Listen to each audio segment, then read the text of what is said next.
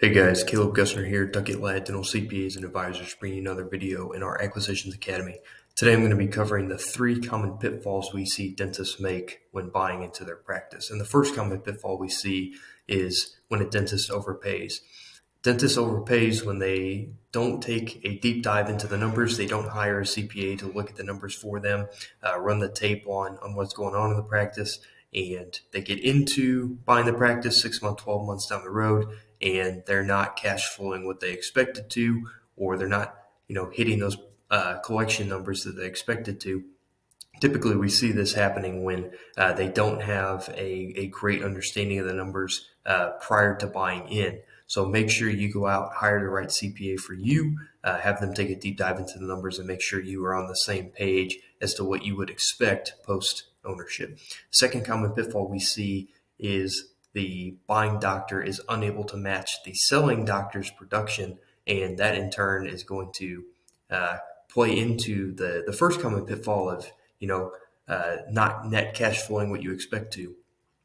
Talked about this a couple weeks ago in the transferability uh, video, but making sure that you take time, look at the production report that the selling doctor has, make sure that those production numbers align with what you're able to do.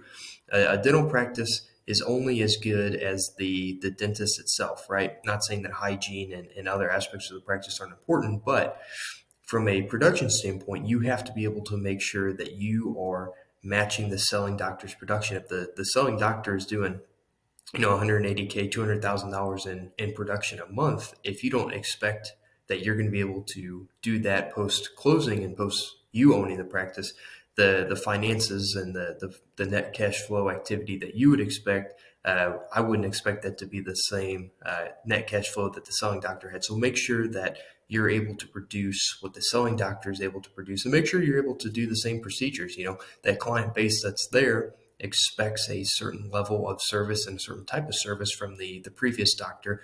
Uh, you want to make sure that you're able to match those as well. And the third common pitfall we see is allowing emotions to get in the way of making a smart financial decision, a smart investment decision. You're, you may be buying your first practice. This may be your, your first walk or, or part of your journey to, to owning a dental practice and you're super excited.